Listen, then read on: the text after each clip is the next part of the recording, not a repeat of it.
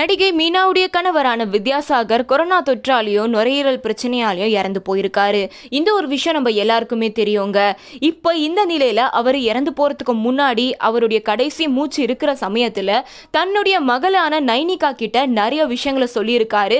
அந்த விஷயத்த சொன்னது மட்டும் இல்லாம ஒரு சத்தியத்தையும் வாங்கியிருக்காரு. இதை கேட்ட நைனிகா அந்த அளவுக்கு ஒரு பெரிய ஷாக் ஆயிருக்காங்க. ரொம்பவே அழுதும் இருக்காங்க. அப்படி என்ன விஷயம்? அந்த மாதிரி என்ன சொல்லியிருக்காரு அப்படிங்கிற ஒரு தகவல் நமக்கு இப்போ கிடைச்சிருக்கு. நம்ம இப்போ இந்த வீடியோவில் அதை பற்றி தான் ஃபுல் அண்ட் ஃபுல்லாக பார்த்து தெரிஞ்சுக்க போகிறோம் ஃபர்ஸ்ட் ஆஃப் ஆல் வந்து நடிகை மீனா அவங்கள பற்றி சொல்ல போனால் அவங்க சிறிய வயதிலே தமிழ் சினிமா இண்டஸ்ட்ரிக்கு வந்து நிறைய படங்களை நடித்து பெரிய பெரிய கோ ஆர்டிஸ்ட் கூடலாம் நடிச்சிருக்காங்க.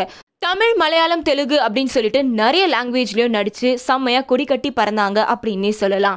டூ தௌசண்ட் நைனில் பெங்களூரில் சேர்ந்த கம்ப்யூட்டர் இன்ஜினியரான வித்யாசாகர் அவங்கள திருமணமும் செஞ்சுக்கிட்டாங்க. இவங்க ரெண்டு பேருக்கும் நைனிகா அப்படிங்கிற ஒரு பெண் குழந்தையும் இருக்குது ஸோ இந்த மாதிரி இவங்களுடைய லைஃப் வந்து ரொம்பவே சுமூகமாகவும் நல்லாவே போயிட்டு இருந்துச்சு.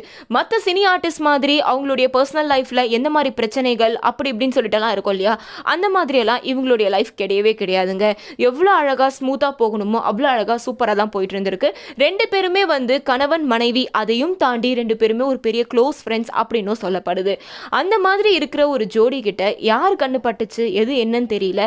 வித்யாசாகர் அவங்களுக்கு நுரையீரல் பிரச்சனையாலையும் கொரோனா தொற்றாலையும் இறந்து போயிருக்காரு. அது மட்டும் இல்லாம வித்யாசாகர் இருந்த இடத்துல கிட்டத்தட்ட அவரை சுத்தி நூத்துக்கும் மேலான புறாக்கள் இருந்திருக்கு. அந்த புறாக்களுடைய எச்சிக்கல் கலந்த காற்றை சுவாசித்ததனால் மட்டுமே இவருடைய லங்ஸ் வந்து ரொம்பவே டேமேஜ் ஆயிருக்கு அலர்ஜி ஆயிட்டு அப்படின்னு சொல்லப்படுது.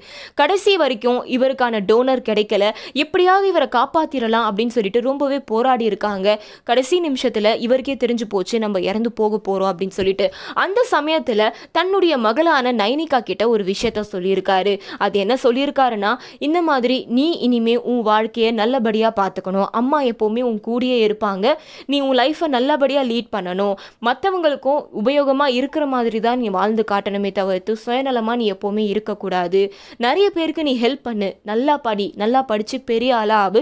உன் இஷ்டத்துக்கு நீ வாழு. ஆனால் நல்லபடியாக நீ வாழணும். நிறைய பேருக்கு நீ ஹெல்ப் பண்ணி வாழணும். நீ அரசியலுக்கு போயிட்டு நீ மற்றவங்களுக்கு உதவி செய்வியோ? இல்லாட்டி அரசியலுக்கு நீ போகாமல் மற்றவங்களுக்கு உதவி செய்வியோ? அதெல்லாம் எனக்கு தெரியாது. நாலு பேருக்கு நிறைய உதவிகள் செஞ்சு தான் நீ வாழணும். மற்றவங்க எல்லாருடைய ஆசீர்வாதமும் உனக்கு இருக்கணும். மற்றபடி அம்மாக்கு இனிமே நீ தான் எல்லாமே. அப்பா இருப்பேனோ இருக்க மாட்டேனோ அதெல்லாம் தெரியாது.